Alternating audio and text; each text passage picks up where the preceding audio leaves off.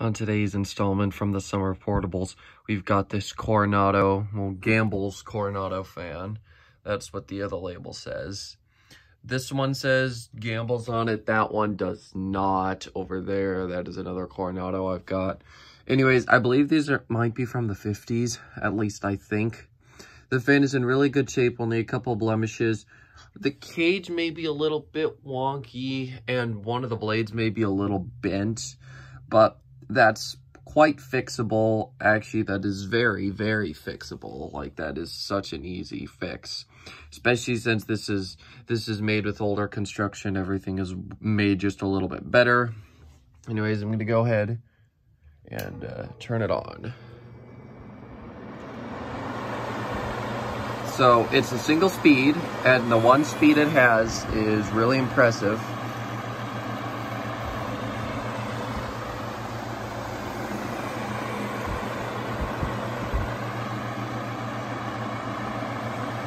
It's really putting out a good amount of air.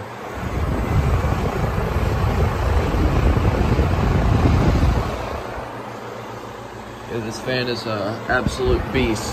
Anyways, I'll go ahead and shut her down.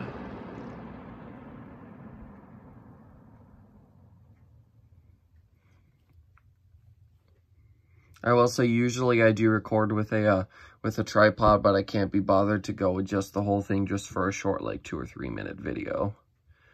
So there we are. Now I am to give you some detail shots on the fan. I'm just going to sit you down for a moment here while I unplug the cord. There we are.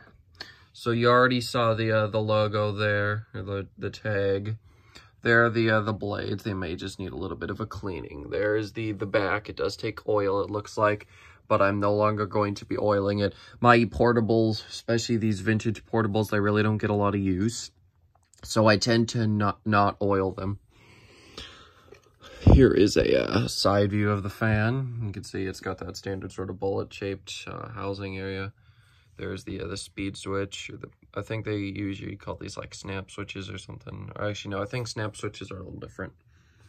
Anyways, then um, here's this part of it here. The wing nut obviously you can loosen that. You could mount it on the wall if you so desired.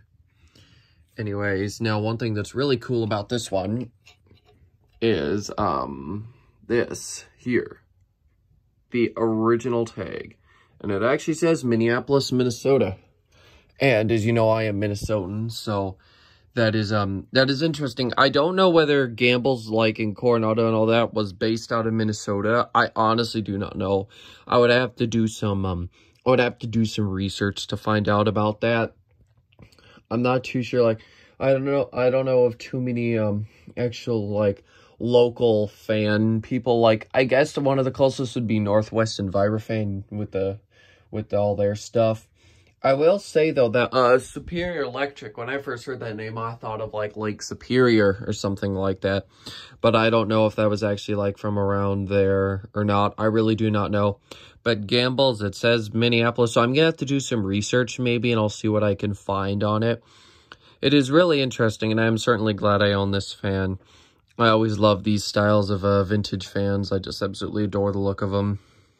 So yeah, that's about what I've got for you. Um, it's about what I've got for you here. And I was also just looking up at that I would show you. I don't know if I ever showed this on camera, but this light kit always gives such a cool look from underneath. Absolutely love it.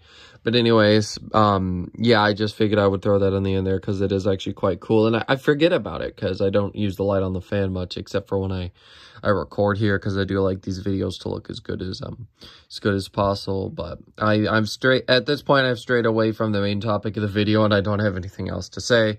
So I'm gonna end it here. Thanks for watching and I'll see you next time. Goodbye.